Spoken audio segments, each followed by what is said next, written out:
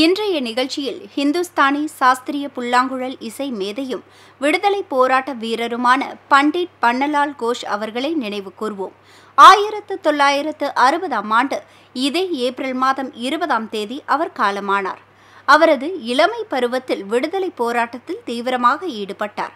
அவரது தொழில் கட்டம் உருவாகிற சமயத்தில் குருதேவர் ரவீந்திரநாத் தாகூர் காசி நஸ்ருல் இஸ்லாம் ஆகியோரது கருத்துக்களால் அவர் கவரப்பட்டார். அவரிடத்தில் தேசிய பார்வையை உருவாக்குவதில் அவர்கள் உதவி புரிந்தனர். அலாவுதீன் கானினின் சீடராக மாறினார். புல்லாங்குழல் இசையை பிரபலப்படுத்துவதில் முக்கிய பங்காற்றினார். ஹிந்துஸ்தானி சாஸ்திரிய சங்கீதத்தில் கச்சேரி கருவியாக புல்லாங்குழலை மாற்றியதில் பன்னலால் கோஷ் அவர்களுக்கு பெரும் பங்குண்டு.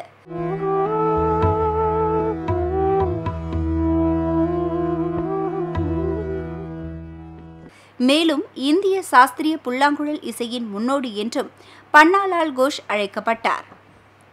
இப்பொழுது பங்களாதேஷில் உள்ள பாரிசால் என்கிற ஊரில் ஆயிரத்து தொள்ளாயிரத்து பதினோராவது ஆண்டு ஜூலை மாதம் இருபத்தி நான்காம் தேதி பன்னாலால் கோஷ் அவர்கள் ஒரு இசை குடும்பத்தில் பிறந்தார்.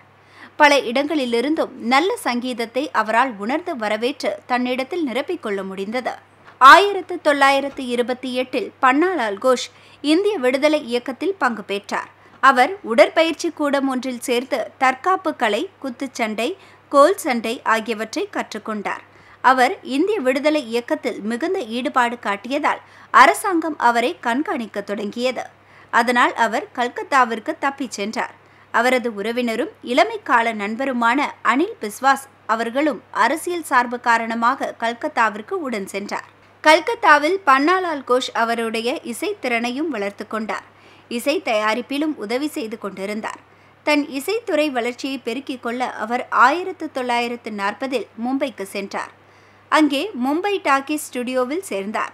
அங்கே பல பிரபலமான படங்களுக்கு இசையமைத்தார். அகில இந்திய வானொலியில் செய்த தொடர் ஒளிபரப்புகளால் அவருக்கு மிக பெரும் புகழ் கிடைத்தது. இந்தியா முழுவதும் இசை விழாக்களில் அவர் நேரடி நிகழ்ச்சிகளை வழங்கினார். புல்லாங்குழல் என்ற இசைக்கருவி இன்று அடைந்திருக்கும் மிக பெரும் மாற்றத்திற்கு அவரது முயற்சிகளும் ஆராய்ச்சிகளும் பெரும் உதவி செய்தன.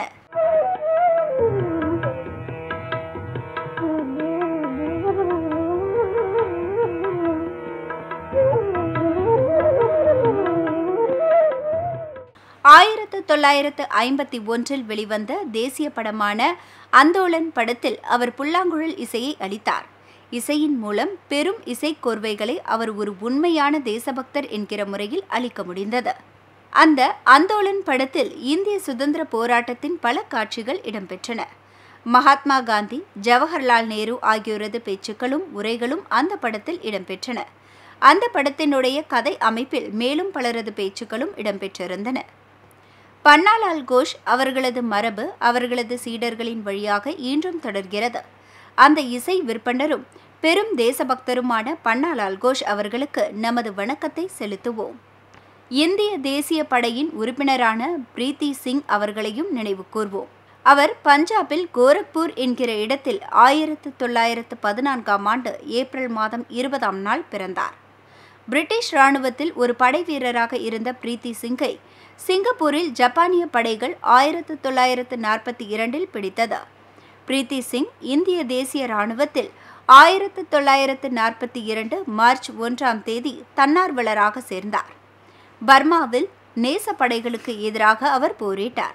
ஆயிரத்து தொள்ளாயிரத்து நாற்பத்தி நான்கில் பர்மாவில் அவர் இந்த போரில் வீரமரணம் எய்தினார். தியாகி மங்கரா பகத் அவர்களுக்கும் நமது அஞ்சலிகள். அவர் வெள்ளையனே வெளியேறு இயக்கத்தில் ஜார்க்கண்டில் உள்ள ராஞ்சியில் தீவிர பங்கெடுத்துக் கொண்டார். இந்த போராட்டத்தின் போது அவர் கைது செய்யப்பட்டு பாட்னா முகாம் சிறைக்கு ஆயிரத்து தொள்ளாயிரத்து நாற்பத்தி இரண்டு செப்டம்பர் மாதம் பதினைந்தாம் தேதி அனுப்பப்பட்டார். சிறையில் இருந்தபோதே ஆயிரத்து தொள்ளாயிரத்து நாற்பத்தி மூன்று ஏப்ரல் இருபதாம் நாள் அவர் காலமானார். மண்ணின் மைந்தரான மங்கரா பகத் அவர்களுக்கு நமது வணக்கங்கள். இன்றைய நிகழ்ச்சியில் தியாகி அகமது யார்கான் அவர்களையும் நினைவு கூர்வோம். அவர் ஆயிரத்தி எண்ணூற்று ஐம்பத்தி ஏழில் நடைபெற்ற முதல் இந்திய விடுதலைப் போரில் பங்கேற்றவர். கான் அவர்கள் உத்தரப்பிரதேசத்தில் இருக்கிற ஜலாலாபாத் தாசில்தாராக பணி செய்தவர்.